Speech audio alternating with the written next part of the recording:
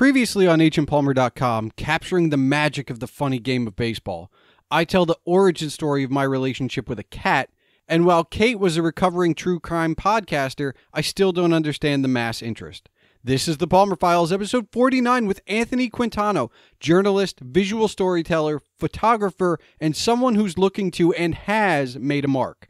We discuss wanting to be behind the camera, getting noticed, volcanoes in the movie Volcano, twisters in the movie Twister, going to outer space, and so much more. Are you ready? Let's do the show.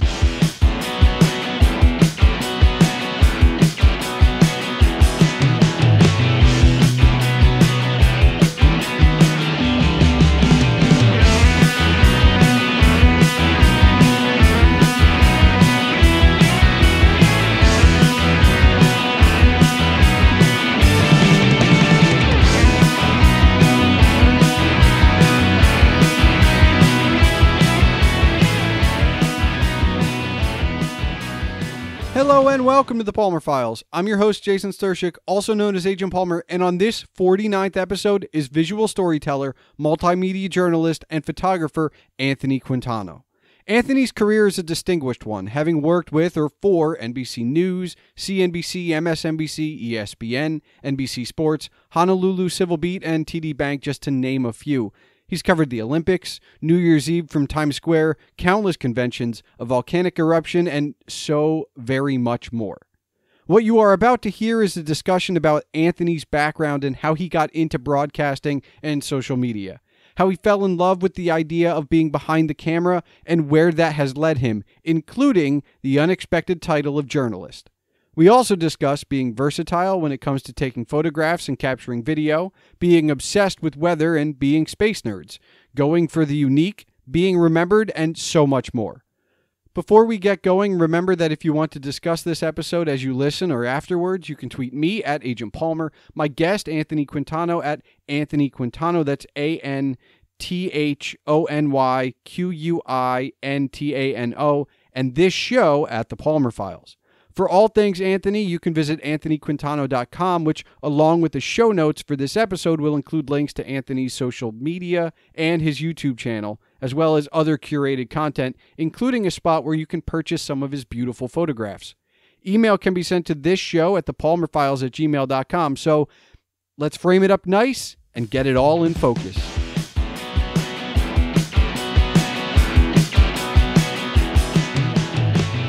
Anthony, you are a visual storyteller. Now, that's what you do. Have you always been a visual storyteller? It's a it's a good question. I have always been involved in visual storytelling, but I don't think I've ever actually had the title. It's my job title now. Okay. But I've been a visual storyteller since high school. Is it I mean, I, I've I've followed you on Twitter and, and your accounts and stuff, so I know it's both static and moving pictures. Mm. Uh, but where did it start? So, so the visual storying history for me was really stills, stills when I was taking a photography class in high school. Okay. But when I graduated from college, actually even during college, I really determined that I wanted to do video and I wanted to be involved in television broadcast. And that was my that was my goal for a career.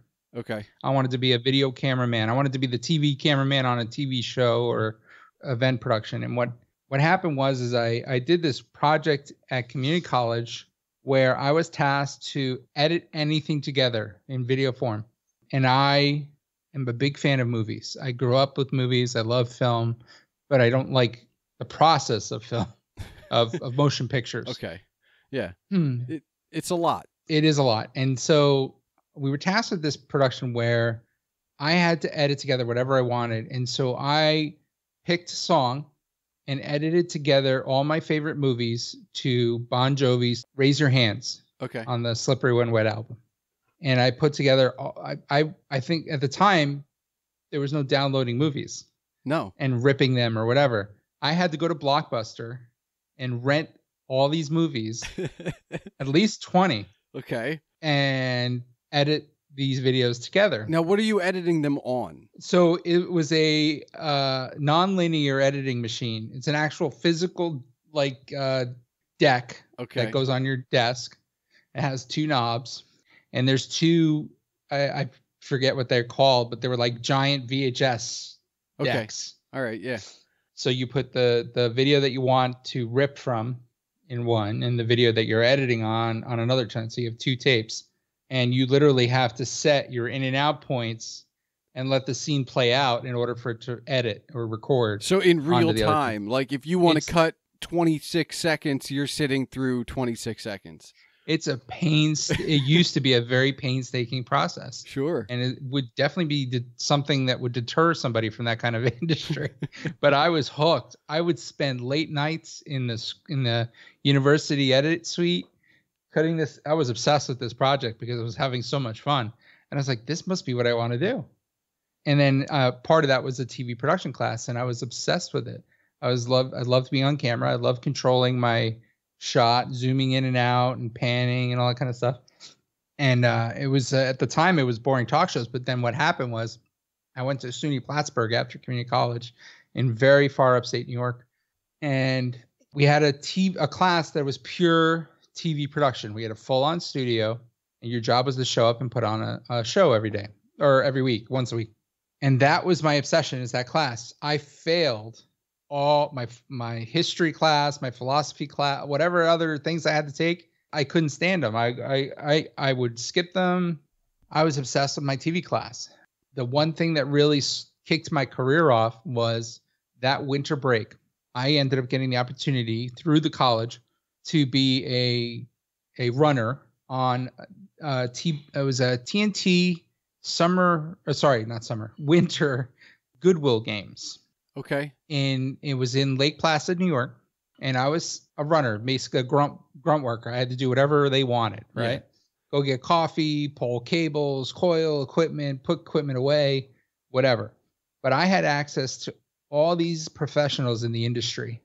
And I was learning stuff on this job that I never learned in any of the, the TV classes that I learned. So I was hooked. I worked so hard on that job. It was a week long. I was standing in snow that was up to my waist on a mountain covering skiers coming down the hill. Oh, it was a crazy event. And I impressed my uh, the the person I reported to so much that uh, me and a few others were selected to continue doing freelance work on other event gigs beyond that. And so I went back to school for the next the spring semester, ended failing out again, and only only passing my TV class. But at this point, I'm like, I'm in. I'm in the industry. I'm getting this freelance work. Why do I need to keep going? My father said, I'm not paying for school anymore. You're done. You're, you failed out. That's it. You you wasted your chance. And so I actually um, I ended up having to get a full time job as a bank teller back then. And whenever I would get a freelance job, I would just take vacation time and go work this freelance. And so my next freelance job after that was working with ESPN. And I was like, holy crap, my second job freelancing. I'm here working on a TV production crew for ESPN. It was a great outdoor games, also in Lake Placid. Okay. Uh, it was really cool. It was- it- they actually don't do them anymore, but it was like you know lumberjacks, uh, axing wood, climbing trees in a raid. It was a pretty really cool event. And I did that for a while, and then I ended up getting a lot. You know, New York City Marathon. I was I was working, but I was all doing it as like a utility, which is a, an assistant to a cameraman. Okay. So after the third year of doing this, it was starting to get a little frustrating because it was like, okay, well, how do I advance from here? Are you a bank teller for all for most of these three years as well? Uh, no, I ended up taking a full time job as a lifeguard and doing that for a while. Obviously, only during the summers. Yeah. And then uh, I ended up getting. I was at, working at a movie theater as a cashier. I ended up getting a job um, at the Cheesecake Factory at some point. So you got a All these of, odd jobs. Yeah, odd jobs to keep the the the dream alive. Exactly, exactly. Because like I felt like if I, uh, I couldn't survive. Obviously, I was I was still living at home with mom, um, and so I had to bring money in, but I didn't want to let my dream go. Although the woman that initially hired me for that um, that Lake Placid gig, the first one, told me, "You'll never get a job as a cameraman," and I asked her why she told me that directors, especially in remote production, event production, are very insecure and they love having all the same guys all the time because they know how they shoot, they know how they work, and it's it's one of those things that you just don't want to risk having a new guy come in and do it. And so I was I was really heartbroken about that. But they have so to have a, a- new guy. I mean, those guys don't. But the, here's the thing: is that it's all based on word of mouth. oh, okay. So if the camera guy does bail on a gig, he's the one that usually provides the backup to him. And they because they trust him, they'll take his word that this guy's good. It doesn't always work out. There are, you know, No, there sure. are guys that yeah. but but that was that was the frustration for me and, and i didn't really know enough about the industry so i ended up getting um uh, my father had passed away around this time and had left me and my brother an inheritance and i ended up using that money to buy my own equipment i was like eh, i'm going to prove that i'm a very good cameraman and it, that was my argument with to her is like well how could i ever prove that i'm good if i can't get on a camera to begin with Yeah. Okay. and so I ended up getting my own camera, my own editing system. Uh, this was the old Macs, like the, the the translucent ones that you could see through, and it was a big tower. And the yeah, um, that was uh, it was fun to have your own gear and be able to shoot what you want. So I actually ended up going out to like random local events and just filming B-roll of things, anything that um, newsworthy or whatever. And this is right around the time where YouTube started coming up, and you know this is social media like MySpace, Friendster was a thing. So you've And got a so- platform. You have platforms for these be this stuff you're shooting. So the the thing was is like okay, I have the equipment now, but how do I get people to see my stuff? Okay. so so I, I learned about YouTube and I was like, I got to get on there. I got to put out whatever I can so people can see my work. And Twitter ends up coming up right about this time. And so I, you know, whenever something newsworthy happens, I go and I try to capture like a news guy, except I'm not working for anybody but myself. Yeah. And there, uh, there was a point where I caught, so the the flight that crashed into the Hudson River, Yeah. uh, U.S. Airways, I think it's 1545. I ended up catching the transport of the fuselage out of New York City and ended up passing our apartment. And uh, I ended up getting video of it and I tweeted it out and it went viral. I was getting requests from media outlets in Europe. And I was I was like, holy crap, my mind's blown. And it wasn't video itself, it was the whole concept of social media and the fact that I could reach so many people. Yeah. Uh, and all of a sudden I'm gaining all these followers and I'm like, holy cow. So now it's like, why do I need to go work for anybody uh, anywhere else? But yeah, eventually, because of I ended up building my own following uh, and continued to do that kind of work. I ended up getting a still camera in addition to my video camera. And so I'm doing both now. So whenever I go to a newsworthy event, I'm shooting stills and video. I tried the whole wedding thing for a year and I hated it. but now, during that time, it was funny because I would I would do a wedding video and I would design and take photos for the DVD cover because back then you had to give people DVDs Yeah. of their weddings Yeah. Yeah. so strange that that's a pass now. But uh, that's what really got me into still photography again. And I actually I was torn because I was doing both, and I really love both. But the still photography was really catching on personally. And so at some point, I ended up getting my full time job at NBC News. Much of it was because over the years, I had built up experience being a videographer, video editor, a photographer, knowing how to live stream and understanding social media. And ended up, I had that time, I had like 8,000 followers on Twitter. And, and that back then, it's like, holy, you know, Yeah. You're that's a huge following back then. sure.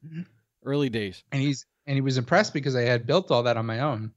And it was funny because the the first night I went to go meet the director of social media for NBC News, uh, I had ended up tweeting at him because I saw he got the job as the first person with social media as a position, and I tweeted I instantly tweeted at him and said I would love to meet. I've been doing social media. I had actually been freelancing for CNBC around that time, and so I was involved with with the, the company and so he invited me in and they had this this live show planned the same night i was meeting him.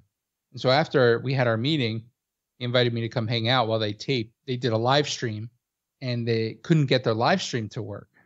And so i jump in and actually get their live stream working again. And so that was it. Boom i had the job. Um and then uh, it took like six months of creating the position or whatever, but I was the first uh, social media manager for NBC News. So I want to ask because obviously there's a huge difference between still and moving uh, as far as pictures and stuff. As an outsider, I guess, as, as a writer who I will use pictures when I need to to accentuate my words, is there an actual internal struggle for like I I want to be just uh uh still or just moving like like can we all get along or do you need to have a specialty like oh I do video or oh I do you know you know photography right? Like can can we all get along or do you have to have your your expertise? Well I don't know what you mean by get along. Well it just feels like people have to make a decision right? Like I'm I'm I'm a film guy. You don't. Okay. You don't. So here's the thing uh, and, and it, it's going to be interesting in the in the next couple of years. But it's so easy to record video now. You don't need a huge camera. Like it was impossible back then because the cameras were huge for video. Now it's your phone. Yeah. You don't you don't need a, a fancy camera anymore. It depends on what you want to do, but um, I actually put a hot shoe uh, on the hot shoe, a, a little char- uh, phone mount, and I have my phone recording video while I'm taking stills. Okay. So Right? a, a little both. I you can't you these days if you're a photographer, you have to do video. If you want to be get your name out there and get your work out there, you have to be versatile. It's it's unfortunately where the industry is going or it, it currently is Yeah. where you in order to brand yourself and market yourself and get out there, you need to be doing video, you need to be doing time lapses, you need to be doing stills. Uh, you can't just do one thing. There are people who do, and they choose, you know, to be pure. I'm a pure photographer. It's great, but you're limiting yourself. If you, it all depends. If you don't care about the, you know, reach and following, uh, that's fine. Keep doing what you're doing. If that's your love, stick with it. Uh, and it's good to do that. It's good to focus on the one thing because you can perfect it. I feel like I a stress and anxiety whenever I'm out there because there are moments where I still have to decide do I want to focus on taking pictures or video of a moment? Because there's certain things that you just can't do both. Okay. Uh, good example is the solar eclipse that I just photographed. Yeah. You can't photograph that or video it with a phone because it's the sun's too far away. I would need a really big lens like the one I'm shooting stills. Now my still camera that I have tied to this giant lens does both. It records video and stills, but it doesn't do it at the same time. Yeah. So what could I do? Now here's the problem. I'm on a boat with a giant lens. That boat is not still. no. So I'm going to be going up and down, up and down with the waves. That's not going to be a very pleasing video for the audience. So I've made a decision. I'm going to focus. I recorded video on my phone that was behind the scenes with my phone. Okay. You know, like us getting out there, getting into position, what it looked like just before. Then, as soon as the sun started coming up, I focused on the stills until until it was at a point where we we weren't in a you know getting good shots anymore. And so then I go back to the video a little bit.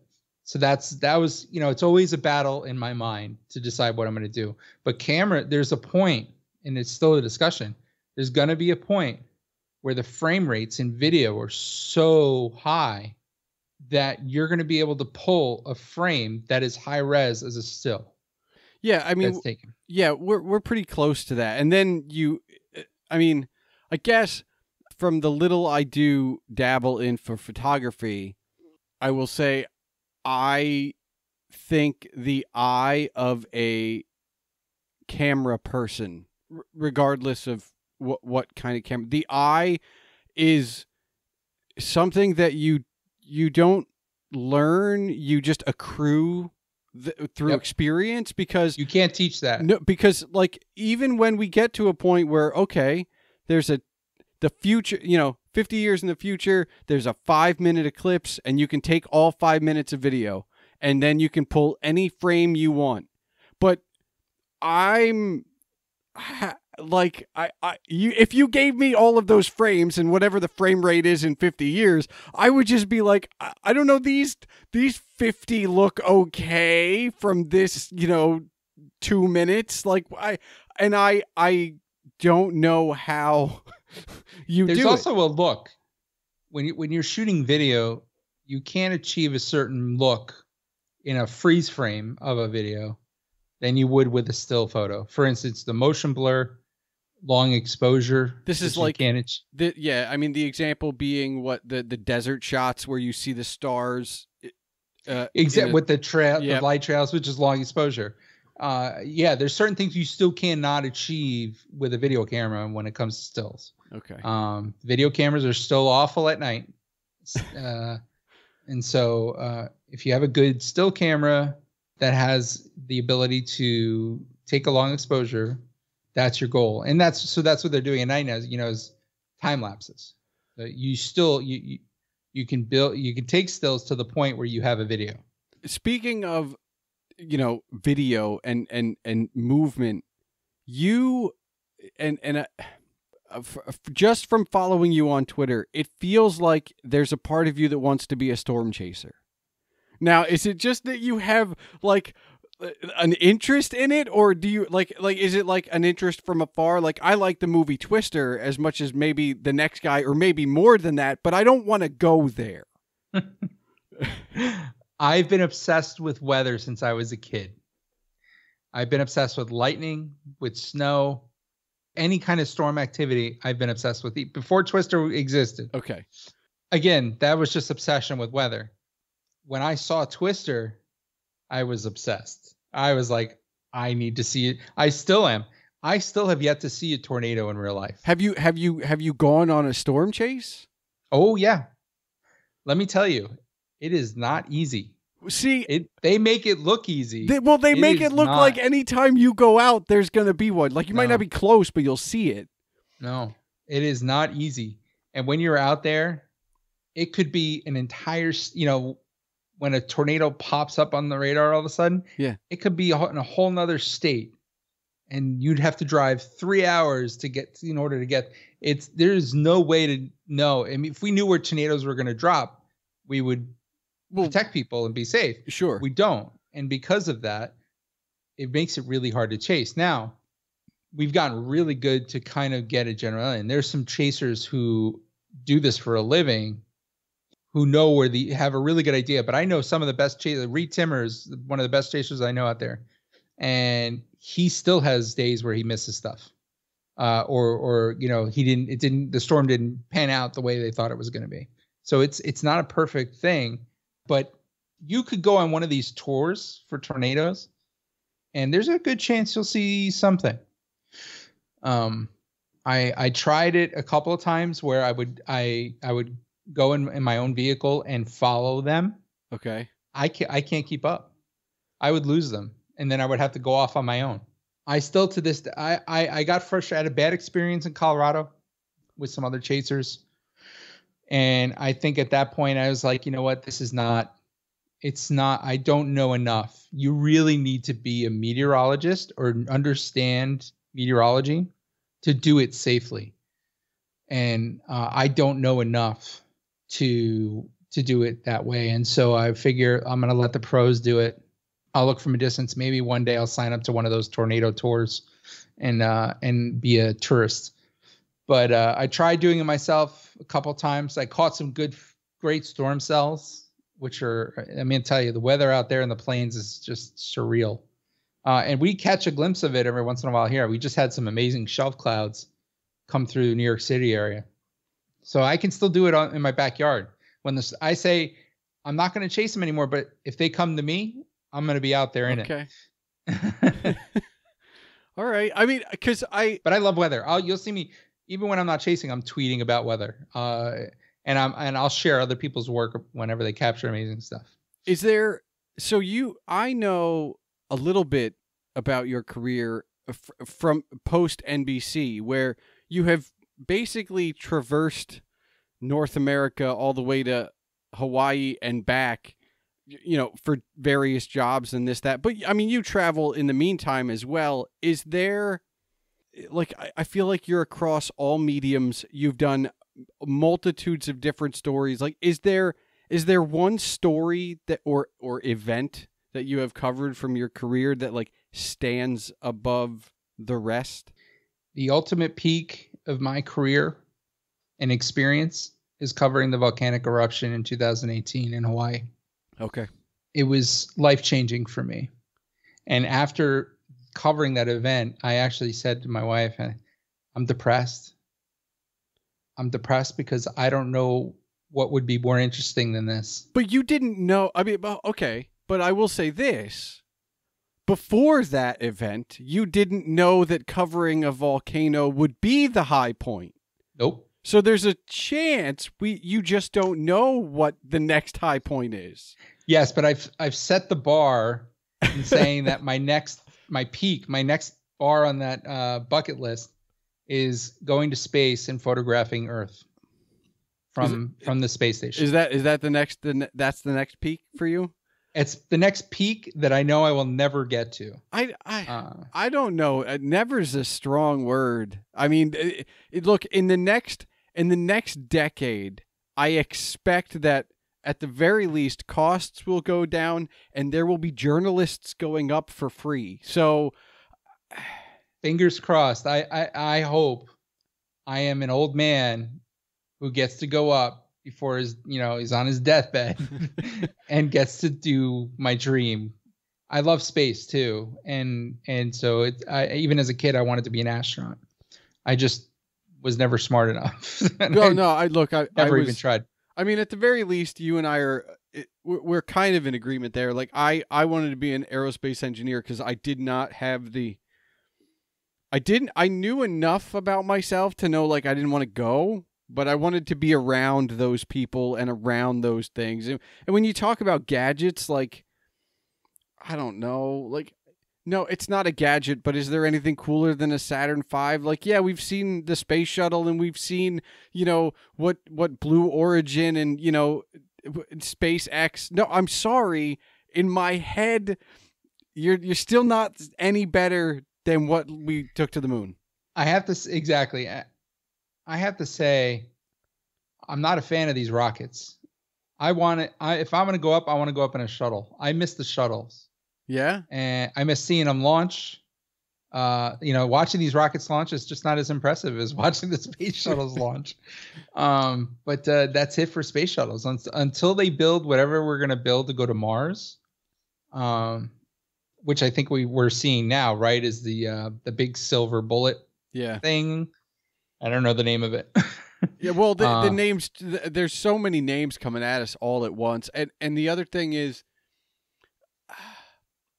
I understand the the concept behind these rockets, but and and look, being a space nerd kind of colors the lens a little bit as as we see these things, but knowing that we're just getting back to powerful rockets that took us to the moon 50 years ago, soon 60 years ago, soon 7 like we're we're so far removed and yet in all this time we've now coming back to yeah. this. And it's what's nice is that we're at a much faster pace. I feel like uh, I mean SpaceX is throwing up rockets left and right. Uh, yeah. It's it's the pace of things is so much quicker than back back in the early days you know, they're you know us going to the moon and then building building something on the moon to then go to Mars. Yeah. Um, leaves that open opportunity where you're right. I might be able to take a bus to the moon and shoot Earth from the moon. Well, who knows? W- w- I mean, okay, so you you have your choice: space station or the moon. I, I mean, I would do, I would still do this. I would still do the space station. Yeah. Yeah, the moon just seems boring to me. You know, I mean, the the the idea that you know would be cool to be on another another object in space. Okay. That isn't man-made. But the the the closeness of the space station, like being able to see detail uh, of the planet from that distance, is what what makes me want to go to the the space station and the moon. Yeah, I I think I could see that. I feel like you're it's it's one of those things where you go to the moon either because you're interested in the moon right. or because you want to see the Earth rise. And once you've seen the Earth rise, you've seen the Earth rise. Whereas in you know high Earth orbit or wherever the you know space station is, you get to see mm-hmm. the New York at night. You get to see exactly. Sydney at night. You get to see them during the day. Like you, yeah, get... the moon's too far. Moon's too far, and it's it's a ball of dust. it's just like. You know, you're there for an hour. It's like, okay, I've done. I'm, you know, I want to go back. that would totally be my attitude. Like, I'd totally take this big, amazing moment and be like, okay, All right, Um, I'm done. what's next? Let's go to Mars. Well, on more terrestrial grounds, right? Um, you know, hopefully one day from a safe distance you will get your twister. But aside from that, is there an event that you haven't covered that you would like to? Hmm, that's a good question. Like I mean, you've been to like almost every convention that could ever be. Um Are, ne- are you talking about like a weather event, or are you talking about a No, just any event in general? event. Like Oh, that's a good question. Um, no, uh, I want to just cover volcanic eruptions. okay. The next That's the, the so, I've I've covered the Super Bowl. okay. I've covered. I haven't covered the Oscars, but I've been outside the Oscars when it was going on. Um, I'm I have no interest in baseball or World Series. I'm not a baseball fan. So yeah, I mean I've I've kind of done all the the big event stuff. Uh, but as far as natural, like that's the most amazing thing. That was what made me awestruck about the volcanic eruption, is that this is this is this is how we started. This is what we were made of, and to see it happening in front of your eyes, and and how powerful it felt, uh, like all the things I was feeling, like the rumbling under the ground under my feet, the the heat. I was awestruck of the power. I felt so little when I was covering when I was standing in front of the volcano and all this lava was flying around me. I was like, if I I I'd die a happy man at that moment. uh because it was just so amazing to see life happen like that. Now, you were already in Hawaii at that point, Mm-hmm. right? You didn't go for that. You happened to be there. I moved to Hawaii in 2015 to take a job as at a nonprofit newsroom Okay. as their social media person. Again, any job that I took as a social media person, they also utilized my skills as a photographer and a videographer to create content. Yeah. And so I was able to go out and report on stories and stuff like that. And so what's funny is is when the eruption so the eruption happened in 2018 and it was on the Big Island, not Oahu where I was living. And I was actually on vacation when the eruption started. I was uh I was in Yosemite at the time and uh, watching it on social media, I'm like, oh my god, I can't believe I'm not there. And we come home uh, to Oahu, and my wife says, "You're going to jump on a plane to go to the Big Island, aren't you?" And it's like, and this is like on a weekend. So my editor, my editors aren't going to send me. So the the thing about Civil Beat, the newsroom I was working for, is that they don't cover breaking news. Uh, they're investigative. okay. So they had no interest in covering the eruption. But I went on my own on the weekend to go see what I could see. And I get there and so it, so what the way it was working was is it's not your traditional volcanic eruption. You know, one not, you know, everyone thinks it's all it's always one big mountain and the top blows off. This was very different.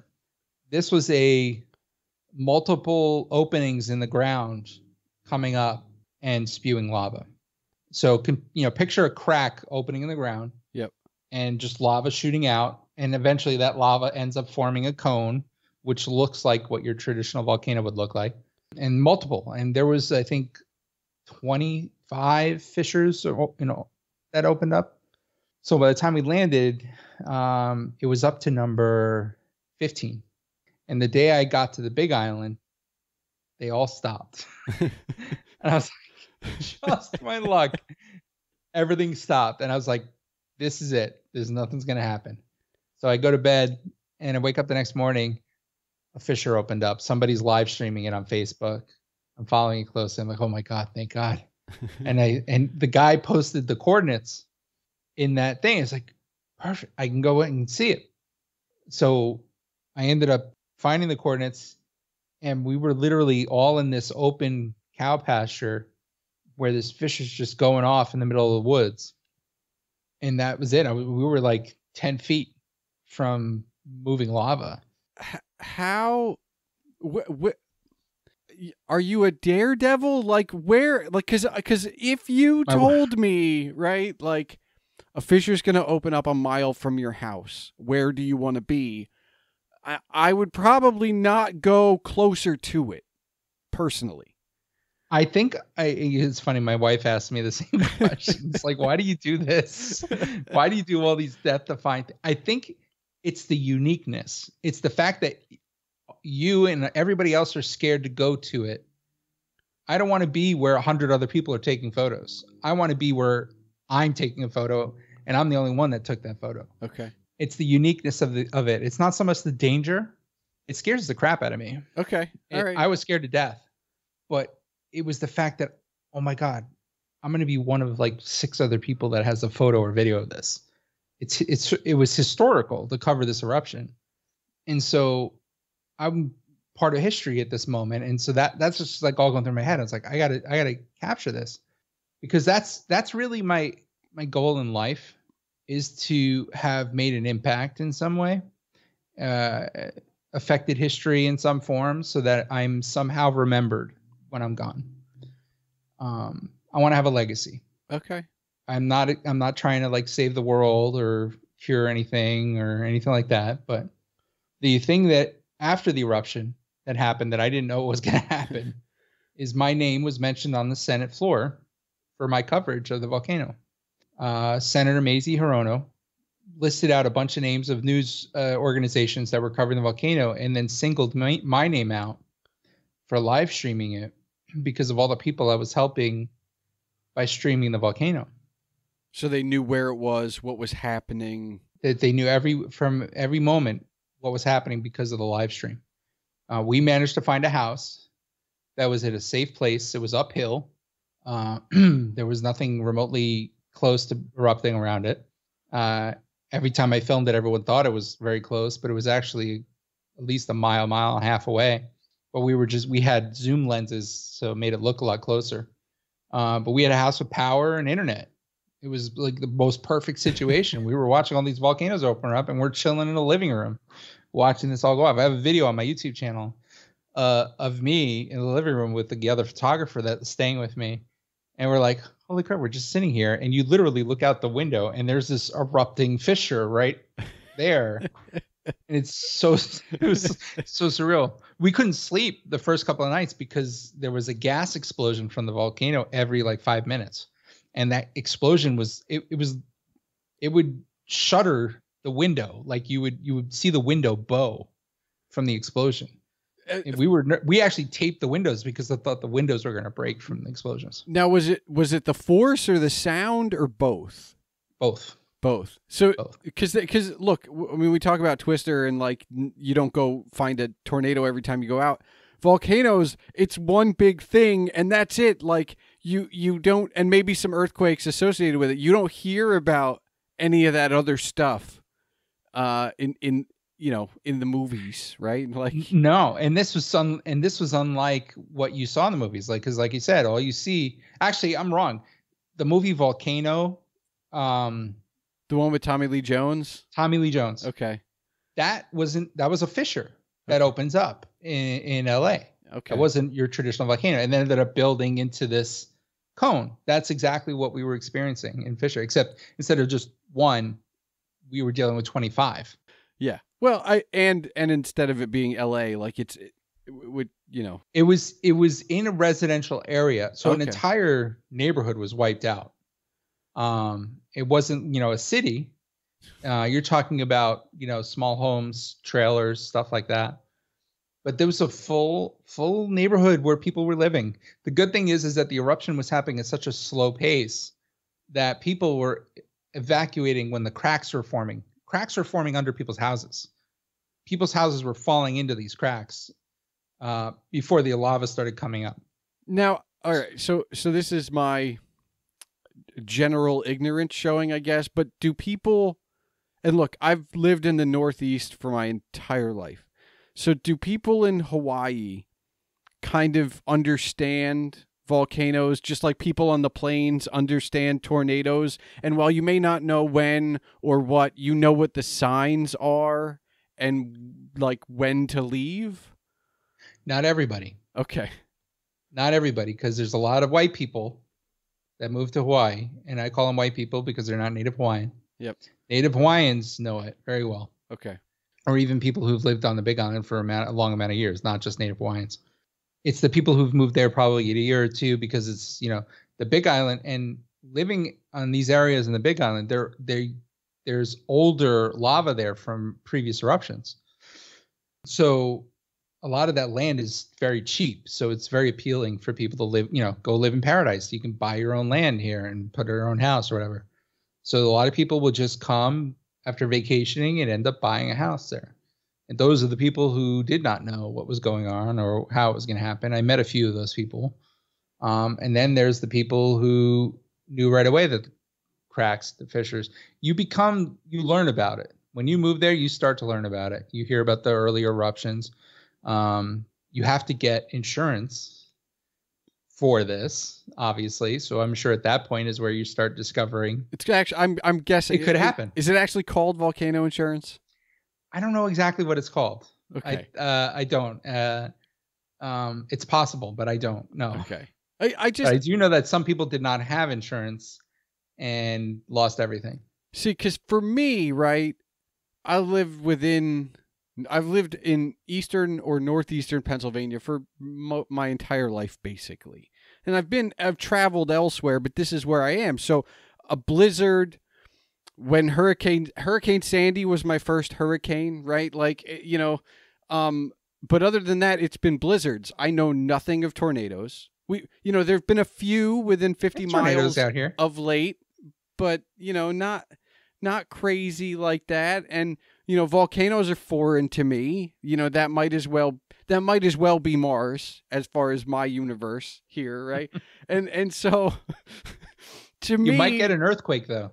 well, I I remember I remember what is it? Uh man, what uh, my memory's g- going to be bad now. I think it was 2011, 2012. We had a we had a like a 2 point we had enough to make you feel like it was an earthquake. Now, everybody out west was like that's not an earthquake. Yep. But we don't as a for a place that doesn't get one, anytime the ground moves, it's it's of note. Um so I, I remember that, but like for me, all of this is so foreign. um, Absolutely. and unlike you, I'm I'm I'm going the other direction probably. Like I'm not, I'm not I'm not going there. Well, that's it's funny because everyone now knows that I'm I'm a death-defying photographer. That when the end of the world comes, I'm going to be out there filming it and not running to a shelter. Yeah, but I mean, you've been fair. Like, you know, you were you weren't you weren't you know roasting marshmallows on the lava, right? Like there was a you were a safe distance away. So and I don't just do it to go take a picture either. After being a journalist and working with news organizations for 10 years, I've learned the value of information and providing that information. And so what I do is try to help inform people in an emergency. So when I do do this stuff like in a storm, if some if I'm chasing and I see something and nobody else is around, I report it so that people know what's going on uh, a lot of people found it very helpful to there were a lot of people whose homes weren't were question marks. Like they left and their house was still there. A lot of people wanted to know was their property damage during the eruption. Can you check on us? You know hey uh, is my house still there? Can you get some pictures of it or whatever? You know those kinds of little things were were helpful to people. I mean, we we talked a lot about your, I, I guess, the media um, background. The journalism thing. I mean, you didn't go to school for that, and even if you did, those were not classes you were attending. So, how does the journalism kind of take hold? I mean, obviously, you're working within the media, but you're not. You know, there's a progression that you've made into being a journalist just by quote unquote learn by doing, right? Like.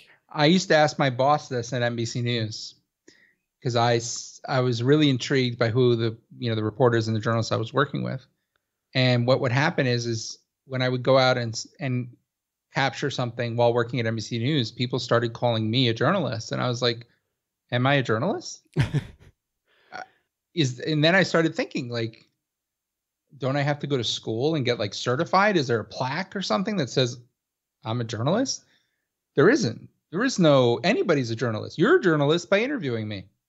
And so uh, it, it's very it's a very broad title. Journalists are storytellers. Uh, there are people who write books. There are people who who tell you know uh, audio stories and stuff like that. So it's a big spectrum, and because I report to inform, I'm a part of that world. Uh, I did not, and I tell that people all the time. It's like, look, I didn't go to journalism school. I didn't study journalism, but I, I've done reporting. I've helped people. I've shared their stories, and I still do that to this day. That makes me a journalist. Currently, I'm not an accredited journalist, meaning I don't work for an accredited news organization, um, which I can't go and I don't have the access that a journalist has who works for CNN or NBC News now. So that really m- makes the difference. If I mean you've you've worked for bigger organizations throughout your career, if you had if if I were to say, you know, you get to go back 20 years but you're starting over, would you would you stay freelance? Would you would more often cuz obviously now that's a path that's actually more viable than it ever was. Um, or would you kind of, you know, see what opportunities came? I for for the longest time I wanted to work for myself. I I had a hard time working for other people. And, I struggled with that a lot. And so when I left Hawaii, I left without a job to go to. And my hope was coming off of everything I did in Hawaii that I'd be able to do um, freelance and live off of it. I've learned it's not that easy, and it is no, it is so insecure uh, that it, just it was it was scarier to become poor and almost homeless than to work full time. And so I learned that I couldn't make it work.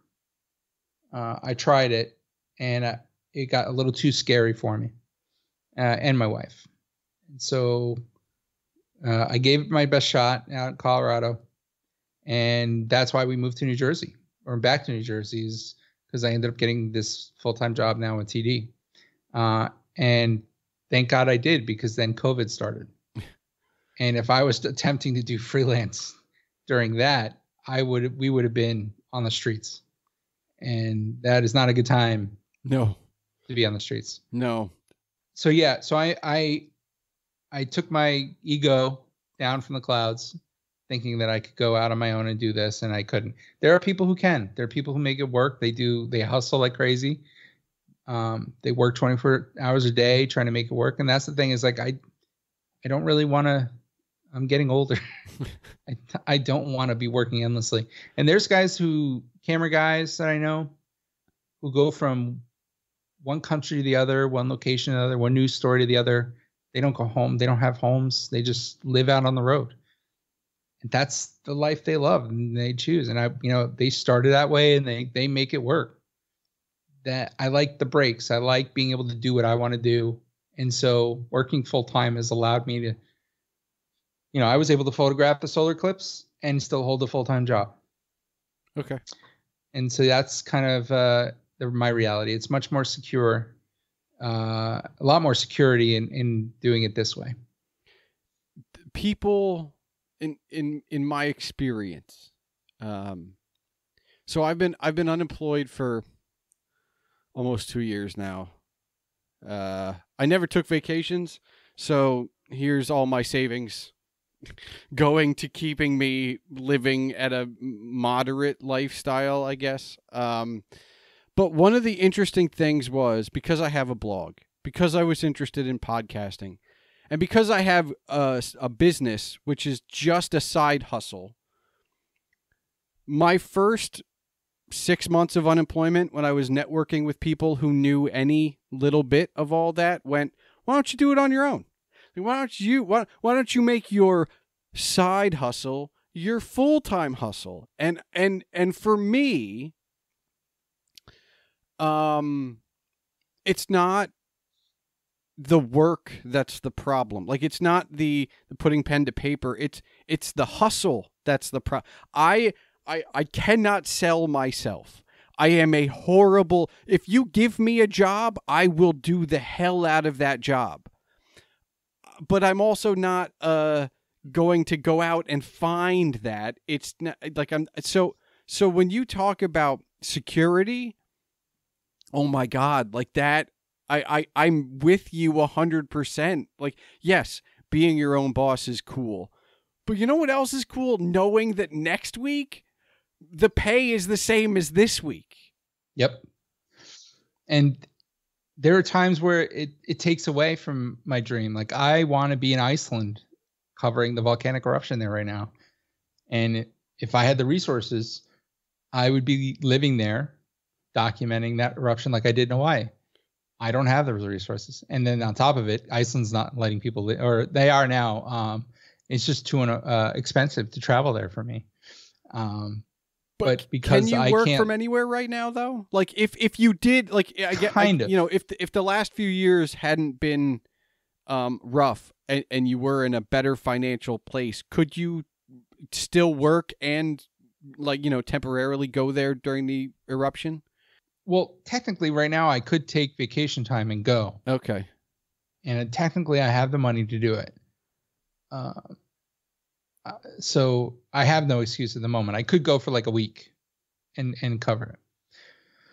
Um, my problem is, I I think the other thing is the uniqueness. There's been hundreds, thousands of people who've been able to go to that volcano from the last month or two, and so it's kind of been beaten to death. And so if I go, my stuff isn't going to be nearly as interesting as the stuff that uh, you know that's already been done. Okay. and that that's kind of what takes away the the desire a little bit for me. Um, because you know it's one thing to take something for yourself. It's another thing to know that you've taken something that other people appreciate. And yeah sure i could document it my own way and make it unique in that form but it's a very expensive trip and a lot of money to go and do that and we're still we still have a lot of debt to pay down from our our year of unemployment in colorado Is there like okay, so what do you do for fun then? Because like all of this is passion and it's work and it's not by any stretch easy. You know, it might be fun to go out on a boat and shoot an eclipse, but I'm not going to call that easy. So like what do you do for fun? that is my fun St- It okay. is uh being able to go on an adventure like that is my fun. Um, me sitting on a beach for a day is not fun. Um, I've gotten so used to not hanging out with other people, so going out to a bar, nothing, nothing of interest to me. Uh, even hanging around other people, not interest to me. Um, I want to see things that I haven't seen before. I want to discover. I want to be out hiking to uh, a location I've never seen that's scenic. I want to travel. Traveling is fun for me. And then documenting that travel.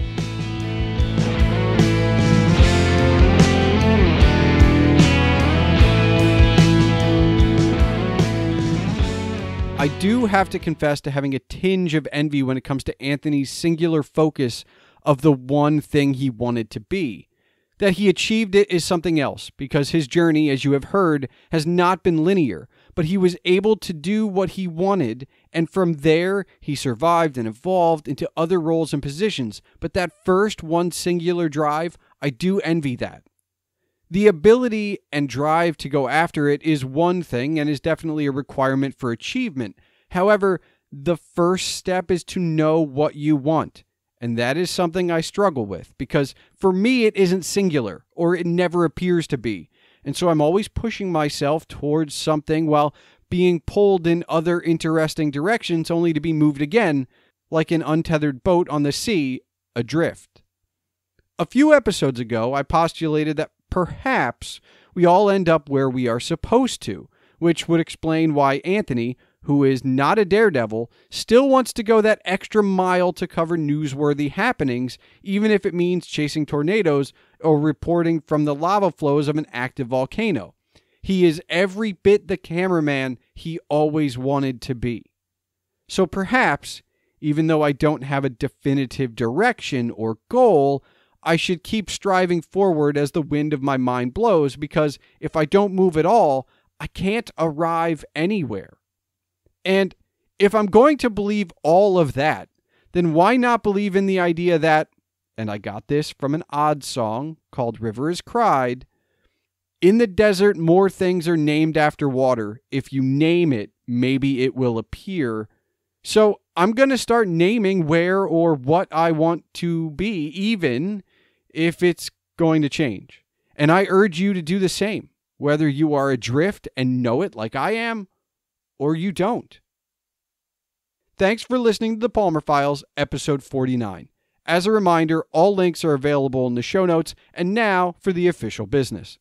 The Palmer Files releases every two weeks on Tuesdays. If you're still listening, I encourage you to join the discussion. You can tweet me at Agent Palmer, my guest Anthony Quintano at Anthony Quintano. That's A N T H O N Y Q U I N T A N O, and this show at the Palmer Files.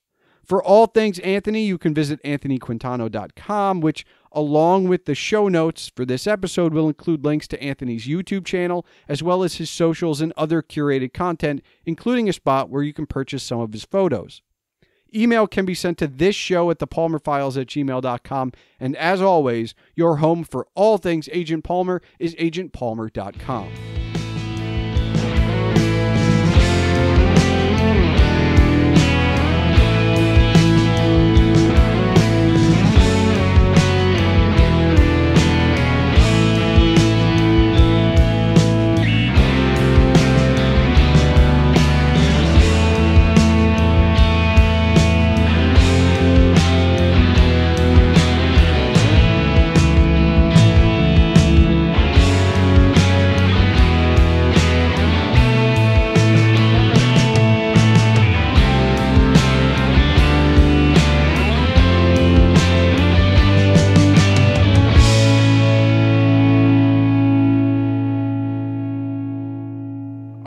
Anthony, do you have one final question for me?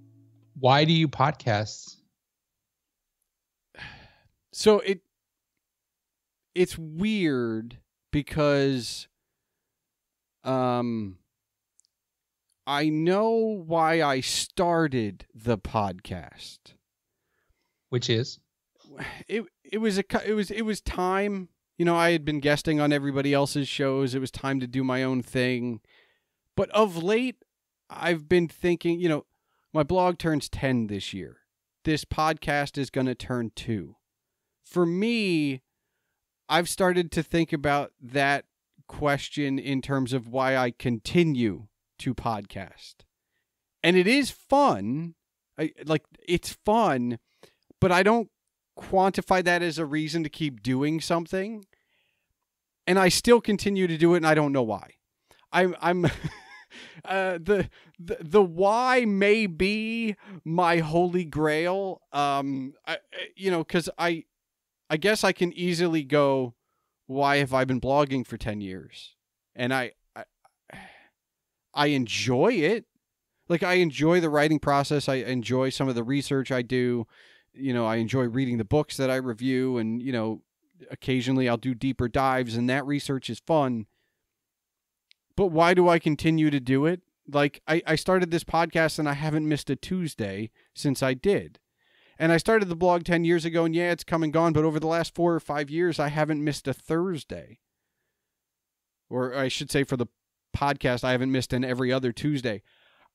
I'm still in my own head trying to figure out why I continue these things. That I started them is so far behind me now. I still can't figure out why I continue.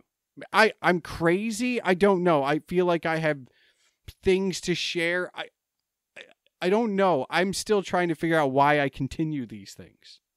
so do you picture a day that you'll stop?